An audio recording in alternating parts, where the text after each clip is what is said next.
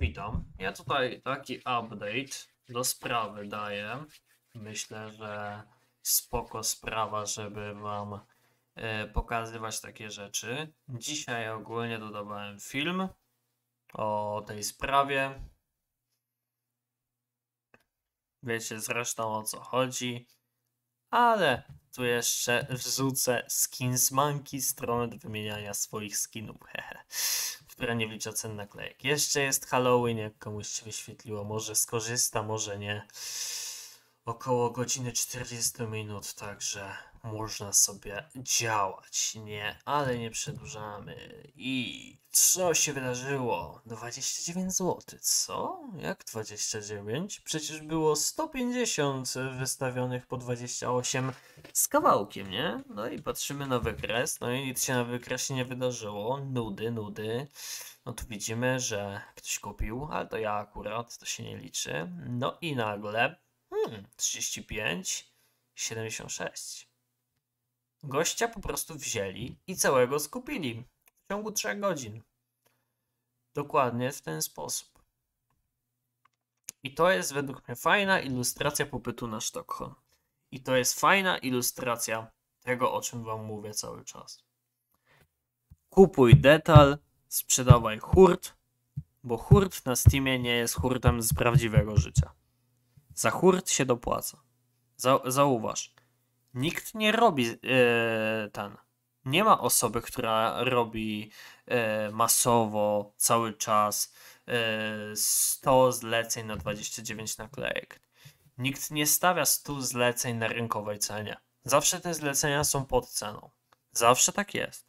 Nikt na rynkowej cenie nie robi 100 zleceń. Ale kiedy się pojawia 100 naklejek do kupienia, to one leżą kilka godzin i ich nie ma. O to właśnie chodzi. Ludzie rozumieją te procesy. Oni rozumieją to. Oni rozumieją to, że ktoś się wyprzedaje i są w stanie wyczuć tę panikę w ten sposób. Ja nawet chcę coś jeszcze pokazać, to taka, taka ciekawostka, do, dorzucę tutaj. W ogóle Shark zmieniło logo. Nie wiem w sumie, czy. nie wiem, czy się jakoś o tym rozgadywać, bo tu nic nie zmieniło w sumie, ale ciekawostka jest. I ja tutaj chciałem właśnie dorzucić wam taką rzecz odnośnie Tailu. Zobaczcie, jakie tu się piękne bajerdery zaczynają robić. I w ogóle jak świetnie idzie handel te, tym Tailu. Wydaje się, że przecież jeszcze chwila. W sensie, ja ogólnie już tak powiem w ten sposób. Jakbym miał. Yy, jakbym miał powiedzieć, co mi mówi intuicja, tak czysto, na zasadzie patrzę na to i kiedy ostatnio tak było i co było dalej. Czyli po prostu odnieść to do przeszłości i spróbować to tak, tak kalką zrobić. To zawsze w takich sytuacjach ogólnie pojawia się wybicie.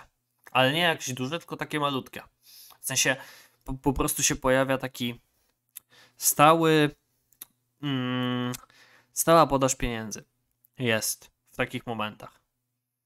To jest wte, wtedy, kiedy ludzie już łapią to, że aha, aha, czyli teraz mamy już kupować. W ten sposób. To tak jeszcze, jeszcze, jeszcze to dalej odniosę, jeszcze to troszeczkę pociągnę e, do tego G2, bo tam właśnie to było fajnie widoczne. E, tu też jest chyba, nie? Dzisiaj przecież to ja miałem naj, najwyższy buy order i już widzicie, że kolejny. 50 sztuk. Nie? Byle żeby przebić, byle żeby zrobić wyżej. O to chodzi. Ja, ja to ogólnie tak nie wiem, nie, nie, nie chcę jakoś. Nie chcę jakoś wróżyć, nie? Bo to jest bez sensu, żeby tak robić. Ale tak kojarzę. Ja, ja jakoś tak mam, że tak mi się ko kojarzy. Kojarzą mi się po prostu te sytuacje, że jeżeli masz jakby jakąś cenę, nie? I już widzisz, że w pewnym sensie łatwiej jest sprzedać coś niżeli kupić. Łat, łatwiej jest sprzedać 100 niż kupić 50. To wtedy dzieje się taka dziwna rzecz, że nagle duże bajordery nagle y, respią się z krzaków. W ten sposób. No i wydaje mi się, że jesteśmy troszeczkę tego świadkami w tym momencie. Sam się zastanawiałem, czy ten buy order nie, nie jest za wysoki okazało się, że warto było troszeczkę przyryzykować nim. Zobaczymy, jak to będzie wyglądało dłużej, nie? W każdym razie, G2 ciekawe zachowanie, co warto odnotować. Tailu ciekawe zachowanie, też że jest to takie interesujące. No i mam nadzieję, że e, tu zostanie pociągnięte e, na tym obszarze tych naklejek takie ciekawe FOMO. I teraz jeszcze kilka rzeczy. Bardzo tanio wycenione Vitality, giga tanio wycenione Sharks, strasznie tanio Team Liquid yy, i chyba Big też nie jest najdroższy. To są takie rzeczy. Dodatkowo jeszcze Face bardzo mały supply, co też nie jest chyba zbytnio to, to, to nie jest ani negatywne, ani pozytywne, to jest po prostu informacja, ale ten supply jest bardzo niewielki.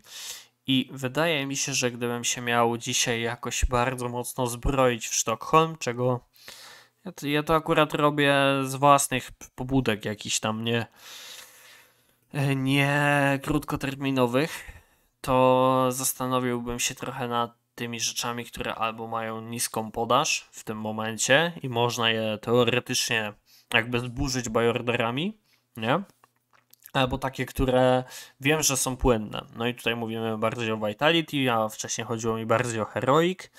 E, za to, jeżeli miałbym atakować w coś, co jest o mniejszej płynności, ale z większą taką jakby. Z większą. Znaczy chodzi o to, że jak masz mniejszą płynność, to zawsze masz mniejszą, jakby to powiedzieć, taką. Hmm. Masz wyższy rozstrzał cenowy. Masz mniejszą, mniej wiadomości o cenie. Płynność to jest właściwie wiadomość, jakaś, tak jakby jakieś potwierdzenie ceny. Jeżeli coś jesteś w stanie sprzedać razy tysiąc i kupić razy tysiąc, no nie, to musi ci to gwarantować jakąś stało, stałość cen. Przecież jeżeli zrobisz na coś tysiąc zleceń kupna, to robisz tysiąc zleceń kupna na jedną cenę, a nie na 15. Jeżeli robisz na 15 i kupujesz, też jest to jakaś płynność. Ja nie, nie o takiej akurat mówię. No, i wtedy mówimy o Sharks. Jeżeli chcemy atakować rzeczy o bardziej, o większej jakby zmienności, no nie, i mniejszej płynności. W ten sposób. Ja tak sobie uważam, to tam moja opinia, to już jak chcecie, tak sobie uważajcie o tym. Ale ciekawa sprawa.